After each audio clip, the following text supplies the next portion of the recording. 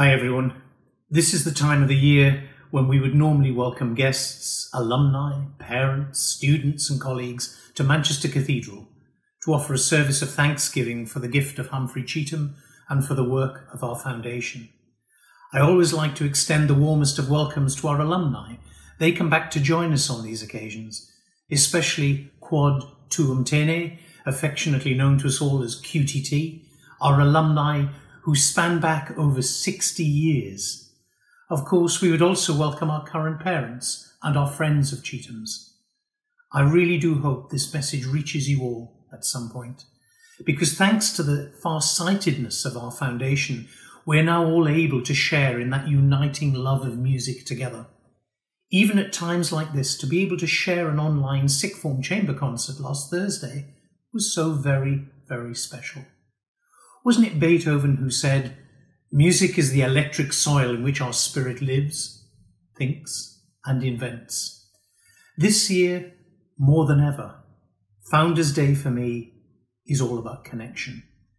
We recall and connect with our old boys of the 30s and 40s and our former pupils of the school who, remembering the benefits they themselves received, now support our students of today. As musicians, we are well used to connecting. We connect with the composer. We connect with our audience. We connect with each other. We connect with a wider local and global community.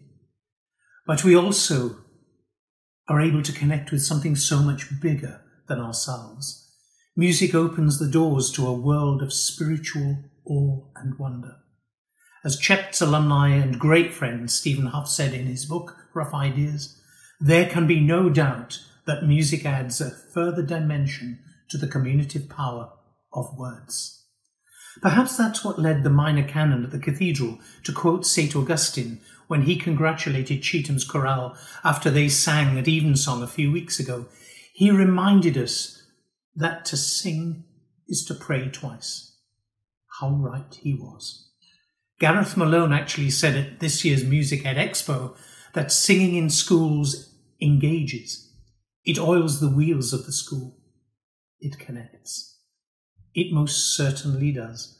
And you know that we believe that singing should be central to every school. It certainly is central to every musician at Chetham's. You know, I often say that living and working with you all at Chet's is like having my very own personal real life Spotify. Think of the music, the repertoire I hear in a working week, in a term, in a year. Even when the inspectors called earlier this term, we didn't press the pause button for a moment. With the highest possible judgments of excellent for students' academic and other achievements, and for students' personal development, the report makes for really enjoyable reading. But, and the students hear me say this so much, what does such a judgment mean for the people that matter the most? Our students. Of course, it's heartening to read, and I quote, that the standards of musicianship achieved by our students is truly exceptional and very wide ranging. But we sort of knew that. But we most certainly can be proud of the fact that our school is considered such a world renowned route of excellence to the creative industry. And I know the school will also continue to grow as a shining example of social mobility, inclusivity, diversity, and internationalism. At the same time, Chetham's will do all in its power to ensure our students are not sacrificed on the altar of music when aiming for such excellence. Chetham's challenges that toxic environment in a world where young people already feel the constant need to impress. We want others, our students, to live their lives impressing themselves with a strong set of personal values and knowing right from wrong. But Chetham's must also support our students in their ambitions to become responsible, global musicians and global citizens with the skills they need to mark them, make their mark on a changing world and a changing industry. So you can imagine how thrilled I was to read that our students' social development, their ability to collaborate with others, their cultural understanding, were also judged to be excellent by the inspectors. Our young musicians give us so much pleasure through their performances and just being them. As Tom Redman said to us at the start of this dreadful time, hashtag Beachets. I know our students will continue to do just that into their adult lives and into their professional careers. When I moved to the lectern in the cathedral and speak like this on Founders Day, I'm very much aware that I stand, and only I stand, in the way between you and your Easter holiday. This year, our holiday is going to be strange to say the least.